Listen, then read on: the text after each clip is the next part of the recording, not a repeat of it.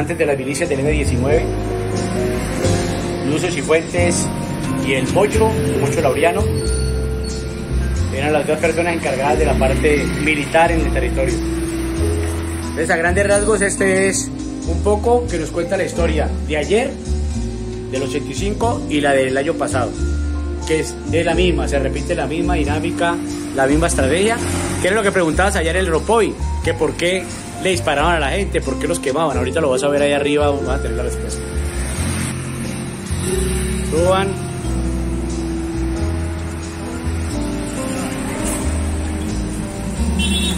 Ya están eh, dentro del segundo piso, ya entrando al segundo piso del Museo de Siloé. Y aquí ustedes lo que han caminado, parte de lo que han caminado lo van a encontrar aquí con los elementos, ¿cierto? Pueden... Aquí no son permitidas las fotografías ni los videos, son una obligación hacerlos para que nos ayuden a mantener la memoria. Hay que hacer videos y fotografías para que nos ayuden a mantener. Explícame esta, conexión de cámaras. Ajá. ¿Qué es eso? Bueno, ya. Sí, sí, a veces uno se confunde de tantas cosas, ¿no?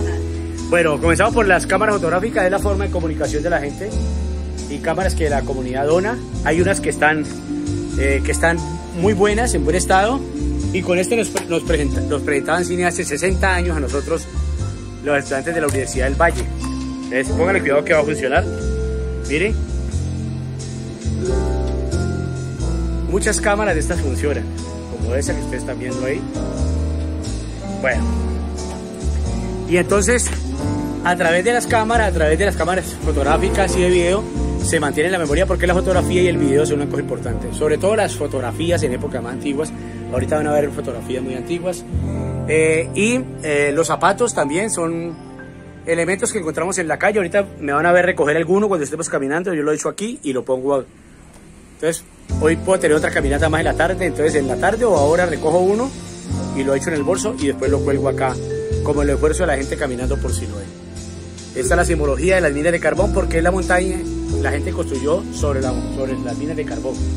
Y esto acá, tenemos el primer televisor que se dio en Siloé, que se trajo de Siloé, el primer teléfono. Muchas cervezas de todo el mundo que trae la gente arriba Empezó como una inundación. como una toma de terrenos. Los que invadieron aquí fueron los españoles. Y los que invadieron en Norteamérica fueron los ingleses, no los indios nativos. Los indios nativos, los indígenas nativos eran dueños del territorio. O sea que no eran invasores, los invasores son otros. En el caso de ustedes allá los ingleses, los franceses.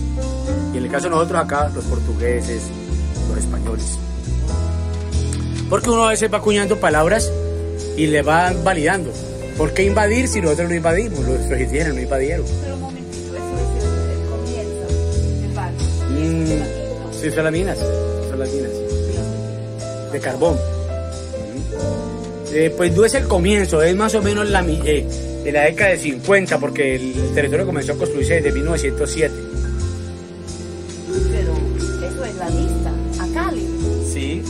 Ahorita lo van a ver, ahorita lo van a ver arriba. arriba. Lo van a ver arriba.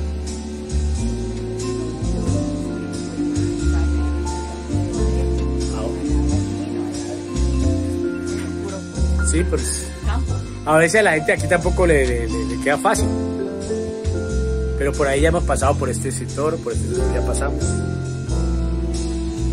Por este ya pasamos también, por este pasamos. Por este acabamos de pasar, que es, el, es allí afuera.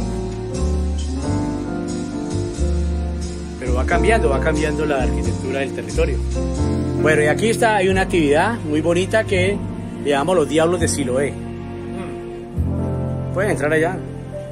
Pueden pisar, no hay ningún problema, aquí no hay ninguna restricción. Aquí se puede tocar, se puede jugar. Para eso es, para mantener la memoria. Esto es una tradición muy de nosotros acá, pues adoptada de nuestros negros esclavos y nuestros indígenas, ¿no? Pero, pero la tradición muy al, urbano, Escuela de Diablos de.